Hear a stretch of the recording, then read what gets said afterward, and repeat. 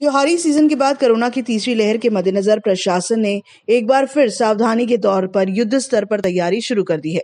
ऐसे में वैक्सीन की दोनों डोज के लिए सभी स्तरों पर गति बढ़ा दी गई है ताकि अधिक से अधिक लोगों को मुक्त परिसंचरण की अनुमति मिल जाए। कुछ जगहों पर पहले डोज की ज़रूरत है। महानगर पालिका आयुक्त ने मंगलवार से ब्रेक द चेन अभियान के तहत यह आदेश जारी किया। आदेश के अनुसार विभिन्न प्रतिष्ठानों में काम करने वाले कर्मचारियों और वहाँ आने वाले सभी नागरिकों को बचाव के उपाय करने होंगे। सभी जगहों पर आकस्मिक जाँच की जाएगी। यदि कोई गड़बड़ी पाई जाती है तो उसके खिलाफ दंडात्मक कार्रवाई भी होगी। आदेश के अनुसार धार्मिक स्थलों पर काम करने वाले सभी प्रबंधन और कर्मचारियों के अलावा प्रवेश करने वाले नागरिकों को भी कोविड निवारक टीकाकरण की दो खुराकें पूरी करनी होगी। प्रवेश द्वार पर टीकाकरण प्रमाण पत्र और फ़ोटो पहचान पत्र प्रदर्शित करना आवश्यक होगा।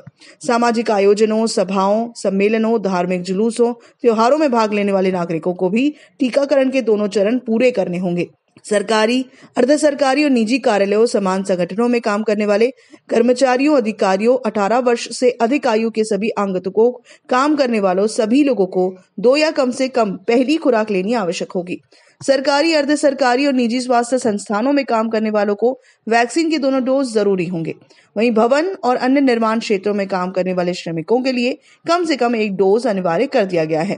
आदेश के अनुसार फ़ोटो युक्त पहचान पत्र के साथ टीकाकरण प्रमाण पत्र दिखाना होगा। 18 साल से कम उम्र के लड़के और लड़कियों को अपनी उम्र का उचित प्रमाण दिखाना होगा। विशेष रूप से नागपुर महानगर पालिका द्वारा औचक निरीक्षण किया जाएगा। आदेश में कहा गया है कि यदि कोई अनियमितता पाई जाती है तो दंडात्मक कार्रवाई भी की जाएगी।